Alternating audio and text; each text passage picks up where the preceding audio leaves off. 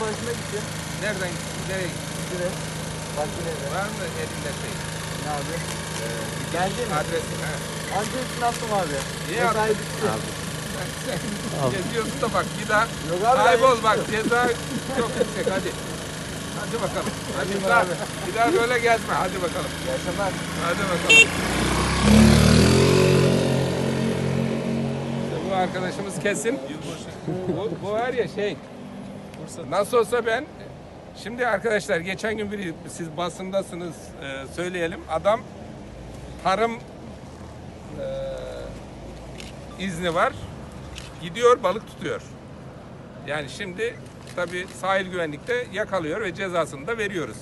Yani bu izinli olan kişiler ancak izin alanında bunu kullanabilir. Keyfi kullanamaz.